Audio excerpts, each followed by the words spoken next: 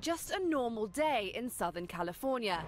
Heavy traffic pollutes the air, despite countless policies promoting cleaner gasoline, carpooling, and the use of electric vehicles.